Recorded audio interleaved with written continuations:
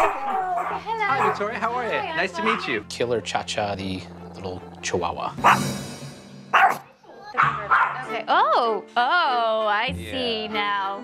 That's So, Killer, why did you get your name? Actually, when I got her, she was very loving, sweet, and I just thought it would be funny. Oh, so you named her, and she was the total opposite of Killer, but yeah, she grew into the grew name. into her name. We love to entertain. We love to have people over, and it's extremely difficult to do not knowing how Killer's going to react to our friends and their children. It's okay. Good girl. Why is she yellow? Um, she likes to change her different color furs.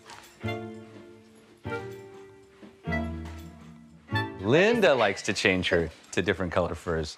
She was green, and now it's faded into a yellowish. Oh, It's okay. Okay. sweetie. straight away, I could see a completely stressed out, nervy, and unhappy dog. She has bitten on many, many occasions. She's bitten all kinds of people. She's very, very fearful. When did she turn just from being a happy chihuahua to being a killer? I had my daughter, and all of my energy and all my attention was with Killer. She was my baby. And then now, ever since the dynamic has changed a little bit, I think she's resentful. What's she like with McKenna? She bit McKenna. Where, where did she bite her? She bit her on the hand. Okay. McKenna's only two years old, and she's already been bitten once. Quite likely it's going to happen again. I know if she was a bigger dog, I think that she wouldn't have lasted as long as she has here in this house. It would have been curtains a long time ago. Killer. She's yellow. Boom. Stop dying, the dog. She does look like another dog's urinated on her. All right, I won't dye her anymore.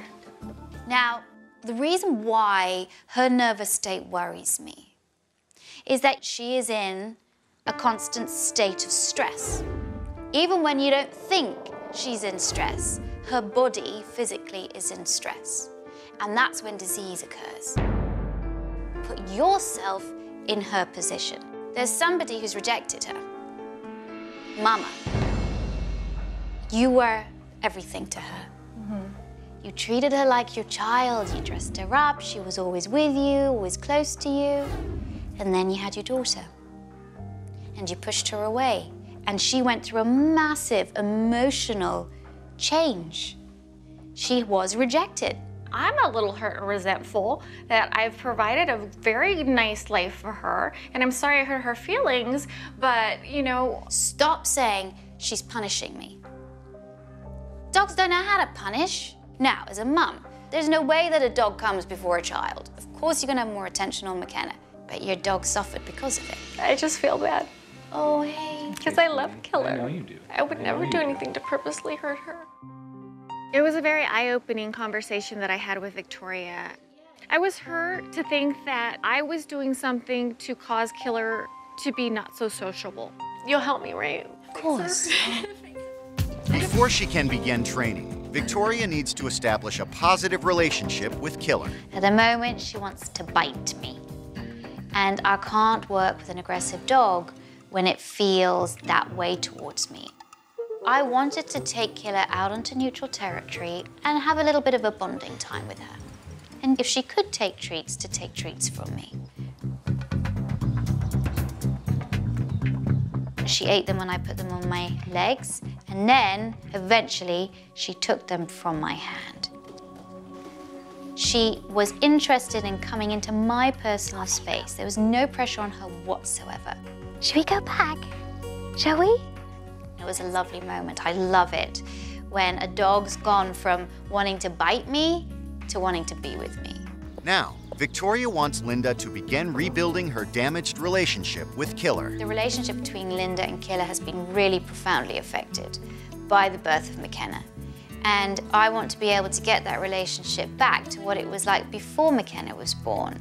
You sit and you have some calm time because it's all about lowering her stress levels. She was so happy, she was so positive. Killer took treats out of my hand. This is so crucial. And it might not happen every day. It would be great if it could. This is important. When a dog associates a human being with good things, it's more likely to come to them.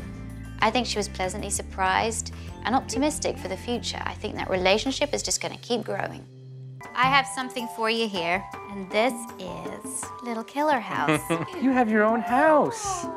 Killer's house is small, so it's killer size. I wanted to give her another option. So she can go here to get away from the dogs, to get away from McKenna, to get away from guests. This is her safe place. Now, it's an outdoor house because you can use it outdoors as well when you have barbecues. I think Killer's house is a great idea. It's she Killer really likes to have that feeling of protection, and I think that'll give it to her. Later on, Linda has a little one on one time with Killer. I have a little treat. The first treat is because I love you. The advice that Victoria gave me about Killer has been dead on. I just like turned a page in our book and we just started all over again and that's all we needed to do. We just let go of the past. Yeah, it's nice in there. Hi, Mike. How are you? Come on in. Welcome. Good to boys. see you. Ever since Linda moved in with Killy, it's snappy. Bit my kids a couple of times. It's bit me. So uh, I'm always nervous around the dog, you know. I just and I usually love dogs, just not that one. I mean, seriously, a couple people have come in and sat down next to her and just ignored her, and within a couple minutes, she's in their lap and chilling. So she's got to make the first move then. Yeah, yeah. And that's So- one of the, that's one of the things that If I if I attempted to pet her right now, she'd bite me. Most likely. Yeah. with Killer, a lot of it is uh, is just getting people to act right with her. Mm-hmm. Don't try to pet her yet. With Killer, it has to be very much in her terms. She feels more confident. If you're willing to go by her wi- rules, she'll make you her friend. There we go. Wow. See? Not bad. It's the first time. Yeah. She's not doing too bad. Yeah, Linda's been spending a lot more time with her too, and you know, she was real uh, messed up when we had McKenna. Just changing. Yeah, scenery there's a lot of changes for her. She's not a bad little evil dog anymore. I'm impressed that she's warmed up to Mike as fast as she has. Mm-hmm. Tell me about your guest. We had a friend come over yesterday, uh, Mike, and Killer has has bit Mike in the past. and snapped at his kids before. Yeah, and his kid, both of his kids are afraid of her. We, you know, we told him ahead of time, you know, help us out, try to just ignore her for a minute. But he was able to walk in past the couch, come around, sit down on the couch. Sat right next to her. Next thing you know, he was petting her, scratching her stomach a little bit later on. I have to say that was great to see, but I would caution you. Don't think for one moment that because she did that with one person, that she is going to be fine with everybody. This dog is still work in progress. Don't be complacent. Give her space. Take the pressure off. Even if she comes up to somebody, just let her do it. Tell the person, don't touch her. Mm-hmm. Just let her do it because there will be another bite until she really gets to the point, months and months and months and months down the road, where she goes, you know what? It's cool. But I don't want you to go too fast, too quickly, because I don't want to undo everything that has that you've been doing, and I mm-hmm. don't want to set her back.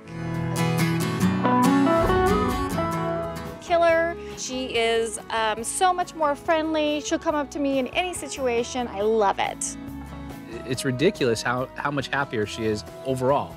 She hasn't she hasn't bitten anybody in weeks. Thanks for watching. If you love It's Me or the Dog and want more dog training tips and tricks, visit my official site positively.com. And if you're interested in learning more about becoming a dog trainer, check out the Victoria Stilwell Academy. Links to both sites are in the description. I'll see you online.